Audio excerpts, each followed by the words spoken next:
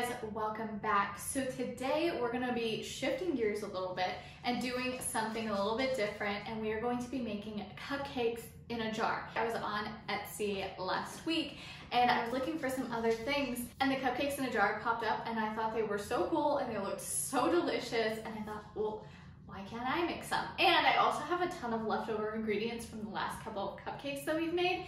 So I figured this would be a great way for you to use some leftover cupcakes if you have those as well. So we're gonna be making four different cupcakes in a jar today using some leftover ingredients and some new ingredients to just switch them up and make these cupcakes extra exciting. So let's get into it. So we're gonna be starting off with a cookies and cream cupcake in a jar. And I'm to be using these eight ounce mason jars basically.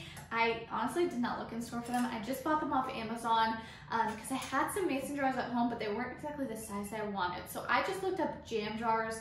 These popped up, which were really what I was looking for. Um, I will put a link to them in the description if you want to find these. It did come in like a pack of 15 though, so unless you need a lot of mason jars, check your local grocery store, see if they have it the size that you want.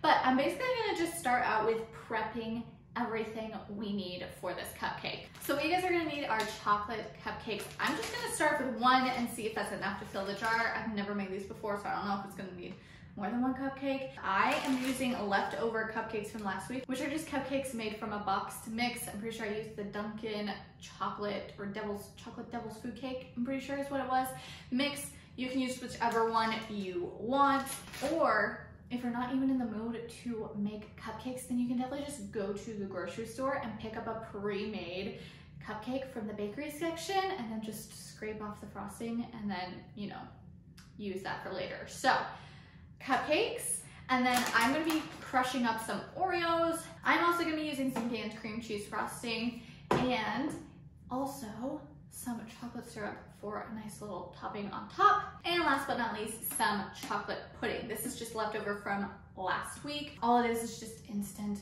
pudding, milk, instant pudding, mix it together, you're good to go. And that's all you need for this first cupcake. All right, so I wanna start off by just slicing my cupcake. So I'm just gonna try to get about three layers out of this one little cupcake and then we'll determine if we need more or not. And I'm gonna set this aside so that we can get rest, the rest of our layers ready to go. So I wanna crush up our Oreos because I wanna add it to our frosting so that we have more of like a cookies and cream frosting, but I also want some cookie crumble to put on the top at the very end. So you can go about this two ways, really. You can either throw this in a blender or a fruit processor, and that'll actually make some really fine crumbles, which would be great but maybe you don't have a blender or food processor or you're lazy like me and you don't want to have to clean your blender, then you can also just throw these in a plastic baggie and then just smash them either with a rolling pin or a spoon or whatever you really have to kind of crush up those Oreos. Just be careful if you are, if you do plan on putting your frosting into the piping bag, you want to try to get the pieces pretty fine. Otherwise the pieces could get stuck in your piping bag and then you're just All right, so I wanna make like a cream cheese Oreo type frosting to add to our layers. So I'm just using the canned cream cheese frosting and I'm just gonna scoop in, honestly, I don't know how much to do, but we're only making one. Obviously, if you're making one for a group of people, you wanna use more. So I'm only gonna try to use about fourth of the can of the frosting. And then I'm also going to add in some of the Oreo crumbles that we have. I'm just gonna add it in slowly because I don't wanna have an overwhelming amount of Oreos to cream cheese frosting. So, and then I'm just gonna use my mixer. Obviously you can do this by hand, but I'm lazy and I don't wanna have to stir. So I'm gonna use my mixer to blend this all together. All right, so we have all of our ingredients here and now it's just time to layer everything in the jar. So I think I'm just gonna go, gonna go with like a systematic kind of pattern here. So I'm gonna start with the cupcake, then put in some chocolate pudding, put on some frosting, and then I crushed up way too many Oreos, so I am gonna sprinkle some Oreos in between each layer as well, and then just stack them up until we get to the top, off with some frosting and a little bit of a chocolate syrup drizzle. So let's get layering.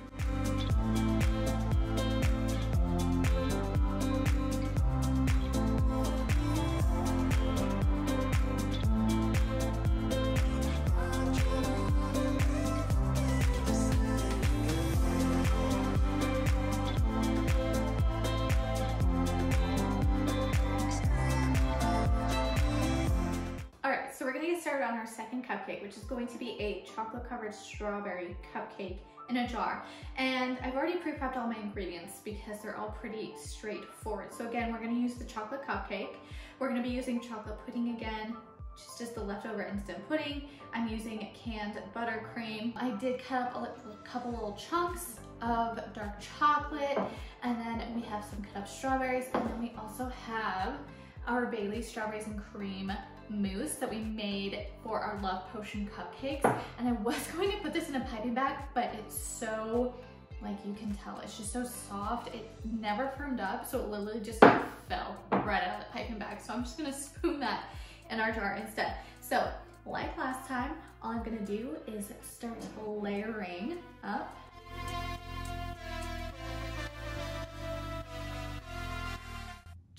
sprinkle of some fresh cut strawberries. I just thought this would add a nice little kind of cut to the flavors, I guess you could say, because we're having so much chocolate in here. And the only other strawberry is the mousse. I really wanted to make sure that you got the flavor in there of the strawberry. And then I'm going to top it with some of our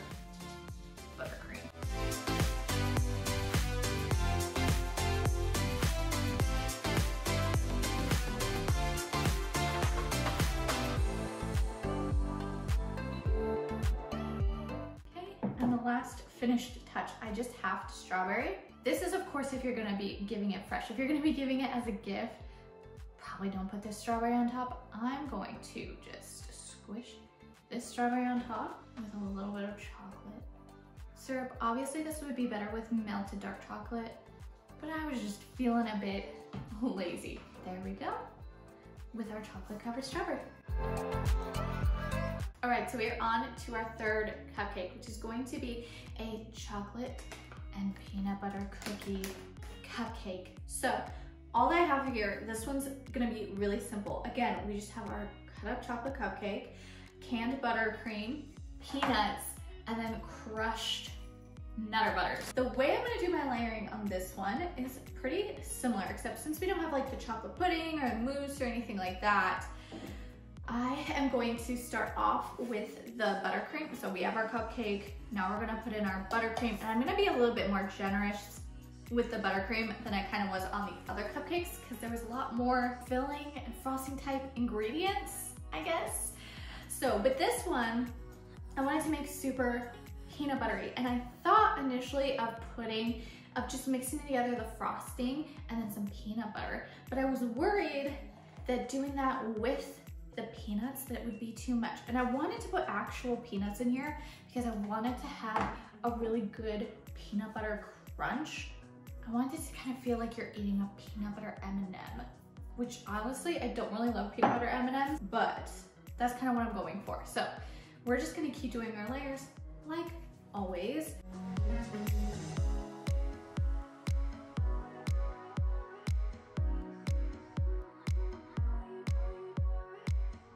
And this time I'm not gonna put peanuts on top. I'm just going to sprinkle the rest of our nutter butters on top. And there we go. This is our chocolate peanut buttery cupcake in a jar.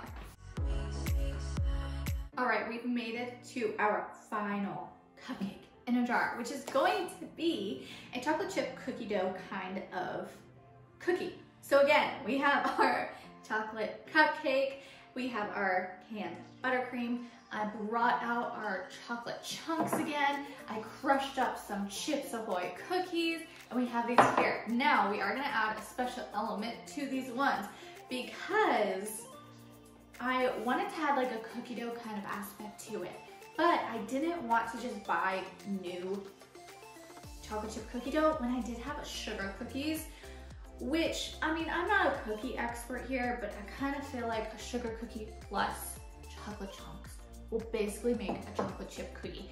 And these pieces of cookie dough are safe to eat raw. So make sure when you're looking for your cookie dough that it is safe to eat raw. So again, we're just gonna layer up. Like always, we're gonna start with the cupcake. Time, we're gonna put our little piece of cookie dough in there and I'm just going to kind of flatten it a little bit with my fingers, drop it in there. And then add in some of our chocolate chunks. Try to space it out if you can, like so. Then I'm gonna put on our buttercream. And then I'm going to layer in some chocolate chip chunk pieces in there. And then we're just gonna repeat the pattern till we get to top.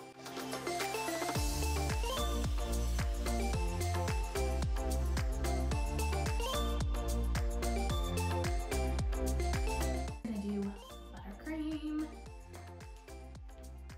Oh wow, that was a really horrendous buttercream. With it because we're gonna cover it with cookie chunks anyway.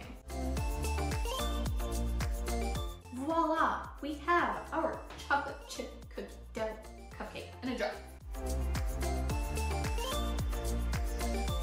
Okay, you guys, so we have finished baking our cupcakes in a jar. And you might notice that I am missing the Oreo one from here. I gave it to my boyfriend to taste test and he devoured it. So they have been approved. But I hope you guys enjoyed this video. If you did, give it a thumbs up and leave a comment below for which one you are most excited to do yourself and try.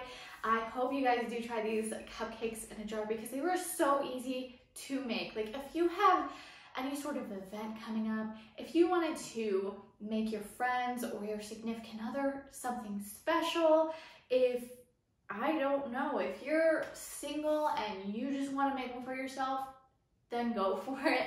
There's so many different variations you could do with these, so many ways that you can make it easier or more from scratch, just depending on what you prefer and how comfortable you are with baking.